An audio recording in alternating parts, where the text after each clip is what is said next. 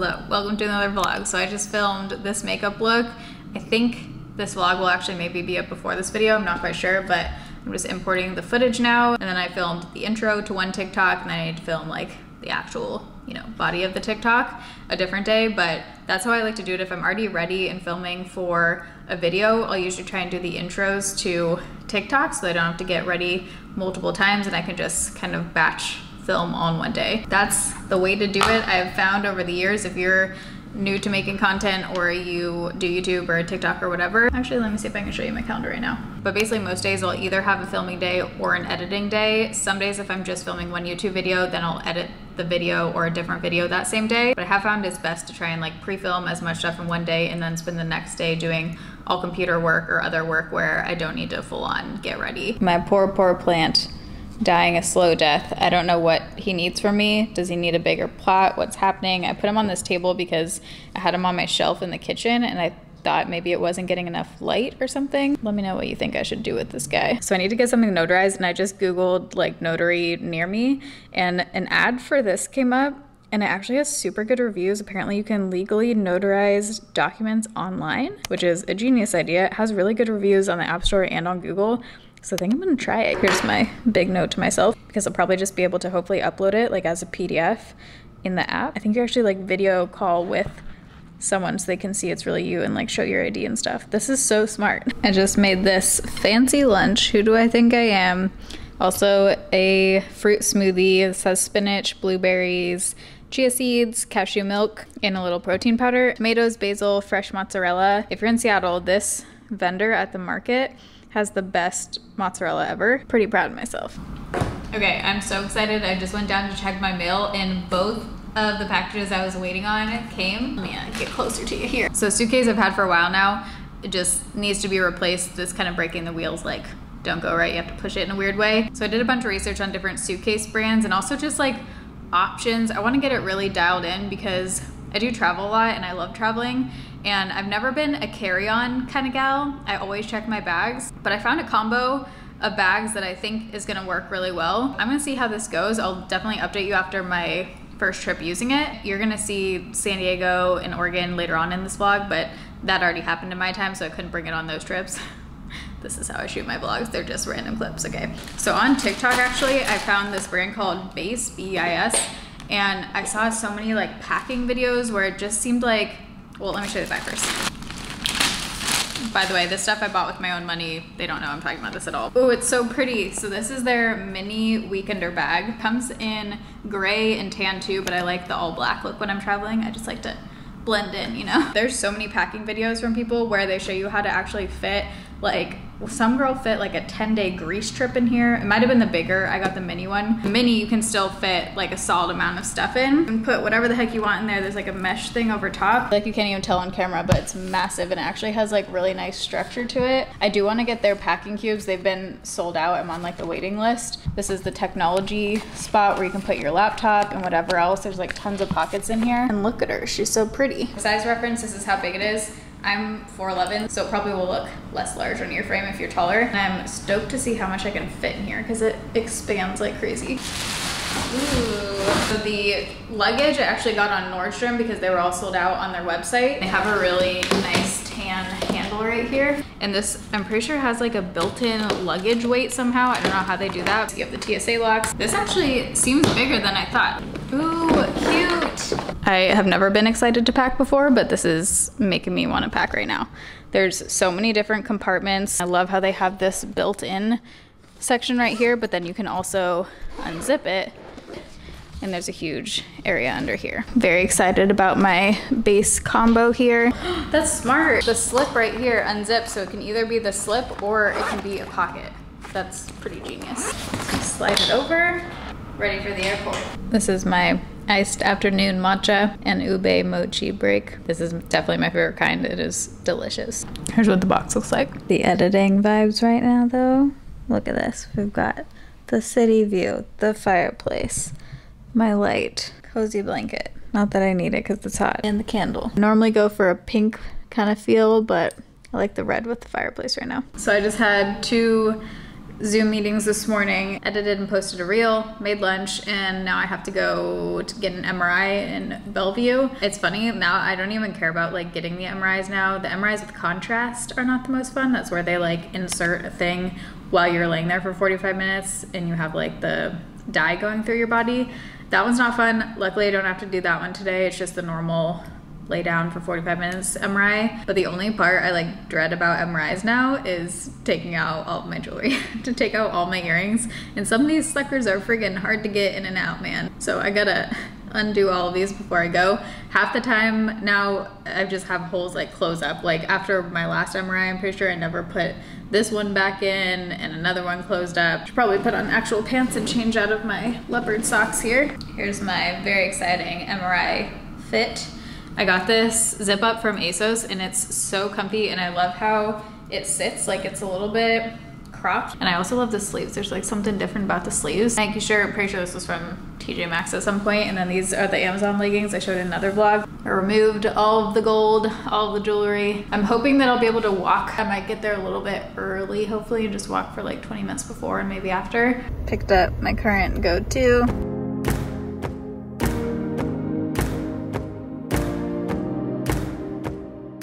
Just got out. It really amazes me how it's 2021 and how do they not have like a quieter MRI machine? If you've ever done an MRI, you know what I'm talking about. Is it just too expensive? That's why they don't have it? Because the technology's got to be there, you know what I'm saying? I walked for like 15 minutes before, but I think I might just find a park around here and walk for a little bit longer. And I also realized I'm totally out of hand soap, so I'm debating if I want to go to Bath Body Works, which there's one in Bellevue, or just like pick up soap from Walgreens or something.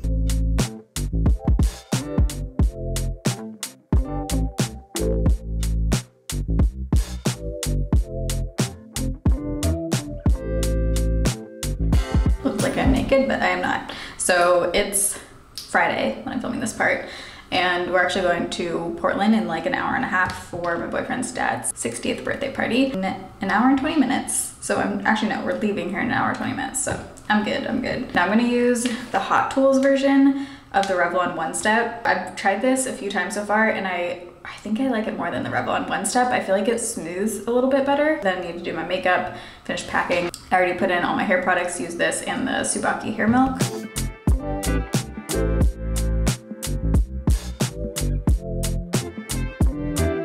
So my hair got to fully wet to this in eight minutes. I'm not done yet though, I just wanted to show you like the process. My hair is now dry. Now I'm gonna actually style it and smooth it. I'm not gonna have it on while I do this, but basically I'm gonna go both directions at the top to kind of really smooth down right here and then flip it and give it a lot of resistance when you do this and just kind of turn as you go. And then when you get to the bottom, you're gonna wanna turn a few times to really curl it under, obviously with, with the heat on, you know?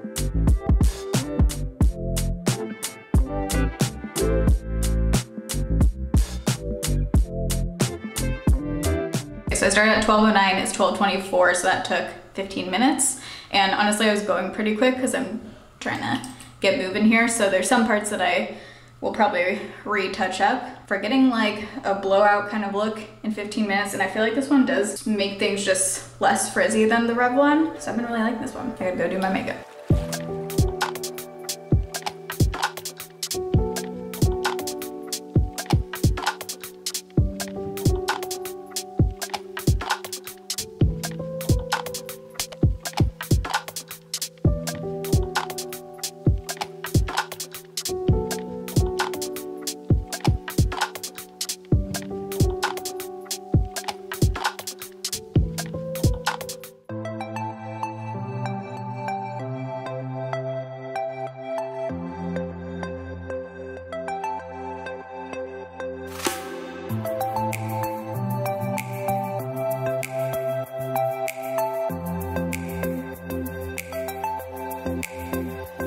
In San Diego for my mom's birthday. Happy 58th at Estancia uh, Resort in La Jolla.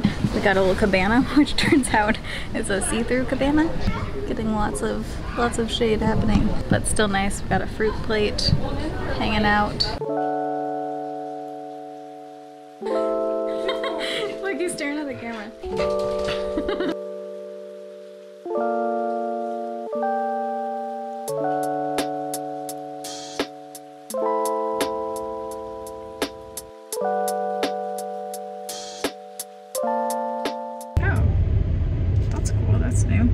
Pulling into Target. A little Target trip. It's 5.20 p.m. I've been working all day. What have you been doing? Like Working working out? Too. Working? Mom, look at this stuff.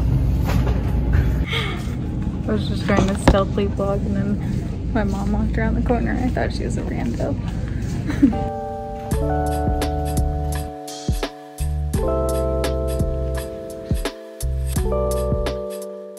so I discovered my new go-to way to get the matcha at Starbucks because it's pretty sweet. Like it has a ton of sugar if you just get a normal matcha there. So what I've been doing is getting an iced green tea, unsweetened, add a scoop of matcha powder. What was the other thing? Oh, and then add sweet cream, cold foam on top. And that's what gives it like a little bit of a sweet taste when you get a sip. But the actual green tea part is just unsweetened. So way less sugar than just getting like a Starbucks matcha. But I'm just sitting in a parking lot while my dad is getting some beans. We're literally getting beans to go, refried beans to go from my favorite place because my mom's gonna make chili rellenos tonight and then some beans and then I fly out, fly out tonight. It's actually way less time than I usually stay here, but it was mostly just to come for my mom's birthday. So fly back to Seattle tonight, Saturday night. That's that.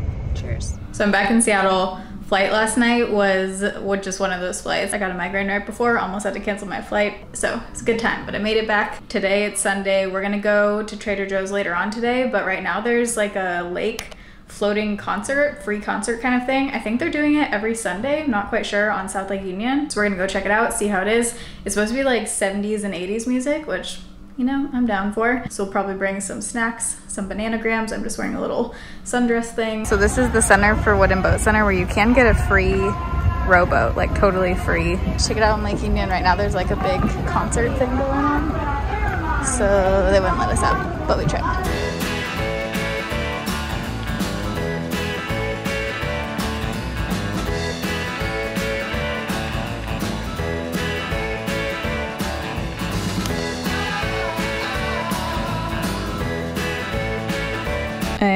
Treating myself with Shake Shack delivery because it's been a rough last 48 hours pretty much. But I got the iced tea lemonade half half fries. I also got cheese sauce. And then I got their new honey chicken sandwich on a lettuce wrap. I've only had Shake Shack one time before. Wasn't super impressed, but I'm giving it another go.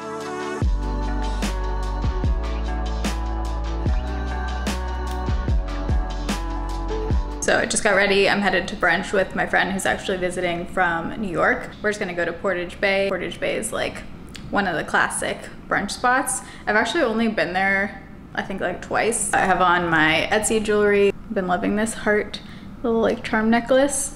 And then these twist tubes are also from Etsy. These are the ones I always wear in videos. I use the new ColourPop matte little quad guys that I've been loving. I love the size of them. And then my Air Force Ones, these are like my go-to shoe lately. They're just super comfy and they're cute. They're like, you know, a little bit nicer than just a normal sneaker and I can walk in them.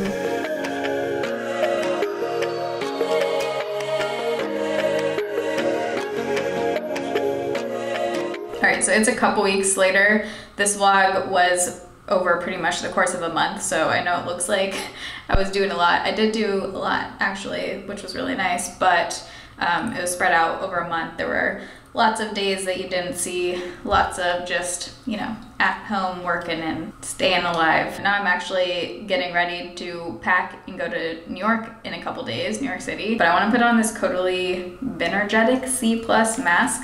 I have been trying a lot of Caudalie stuff. I really like this so far. Obviously I haven't used a ton of it yet. I probably used this for about a week and a half now, but it's their purifying toner with salicylic acid. Salicylic acid my skin just usually responds really well to and I feel like it's already doing something like some nice brightening and their Vino Perfect serum. So maybe I should isolate them because I feel like both of them are doing good things, but I don't know, you know, which one's doing more right now. Kind of looks like I just put on self tanner. I haven't really picked up the camera a whole lot the last couple weeks because I've just been pretty out of commission, but I'm just hoping that in the next couple days before New York, things start to improve. Wow, this feels like it's drying very quickly. I'm gonna be seeing a couple friends there, kind of scoping out some neighborhoods maybe. We'll see, you know, eating some good food, hanging out. So very excited. I might talk more about things coming up in either Shout and Schmooze or another vlog or just like an update video. All right, face mask is on. Let's get to packing. I'm actually excited because I get to use the new suitcases. So first I need to put away these clean clothes and then figure out the outfit situation. I think it's gonna be super hot in New York still. I should probably check that right now. And I actually got these packing cubes off of Amazon. I looked at the dimensions and they're, I think the same, if not a little bit deeper than the Beis ones. So I'm gonna try these and see if I like them. They look kind of similar with the just like style of it where they have half covered. And these ones are like a third of the price, but they're just like a really pretty neutral tan color that kind of matches the handle there. I just cleaned the floors. Now I'm doing laundry, bed sheets and everything because whenever I go on a trip, I always like to, if I can, get everything kind of cleaned up beforehand. So when you come back, it's just really nice to, you guys know the feeling. It feels so good to like come home to a clean house and clean sheets and everything. Uh-oh. I'm officially an idiot. I was just about to say I've never vlogged at this angle before because you're on my bed, but then it fell over. So I tried sticking the bottom of my tripod in my big black candle. And now there's just straight up black wax on the bottom of the tripod. Cool. Great ideas I have. So here's my packing so far. And I actually really, I'm shocked by how much I've been able to fit in here. I'll show you quickly. So in here, I put just like daytime outfits. This is a different bag I'm trying. I actually got this in PR. It's from Believe Beauty, but it's just a little bit smaller, like more narrow than the one that I usually use. So I just put a bunch of stuff in there. In here, I have two pairs of sunglasses and then jewelry. This is also different than how I normally pack that. This one I actually didn't end up knowing what to put in, so I just put my hairbrush and stuff, but I could have put that like in the carry-on, so I might take that out. I tried to put like tennis shoes in and it didn't fit, so I'm not sure what you would use this for. I didn't want to put something that would leak because then you would have to like clean it out of here if it leaked. But this one I put in underwear, bras, and socks. I fit all those in there. And then underneath here, it unzips. You can see it just like got way bigger. So it does compress it down, which is nice. I have a leather jacket in there. And then these are three pairs of shoes and a pair of tennis shoes right there. And then under here is another bag. And in that one, what did I put? Pajamas and like yoga pants and biker shorts. I could still fit something right here, so I might put either a hair tool or I might put that in my the other weekender, the mini weekender bag. And then there's a mesh zip thing right here that I didn't end up using yet, but maybe I'll put like dirty clothes or something in there.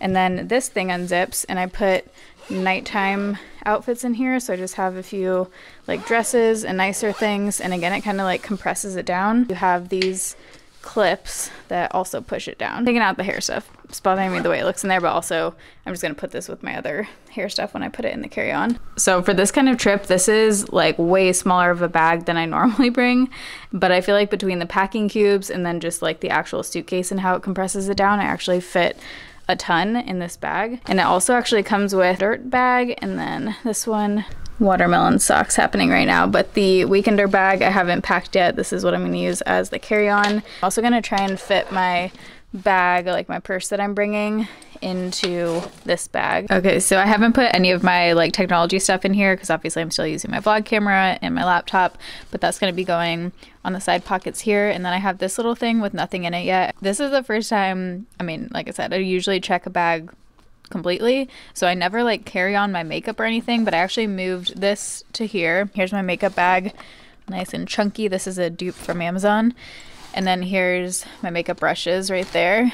I do want to get a different makeup bag. I'm looking at one from Calpak. Then in the bottom, there's actually so much room in that zipper thing. I ended up putting two purses down there and I still have room down there. We'll see how carrying everything on goes. In the past, I don't like to carry on because I can't lift that thing up by myself into the overhead. So, unless there's a nice, kind stranger next to me or I'm traveling with someone, you know, then it's possible. But I usually just check a bag to avoid that whole scenario. Maybe I should like do something to my hair or something before recording this. But wow, ending off this vlog strong. I should not be putting myself on the internet right now, but I just made a matcha, got on my my old merch sweatshirt. Let me know if you guys think I should bring this design back at some point. I hope you guys enjoyed this video. Anything I talk about in vlogs or any of my videos is always linked down below in the description box. But I love you guys. Thanks for watching. See you in my next video. Bye. Of course that sound goes off right when I finish talking.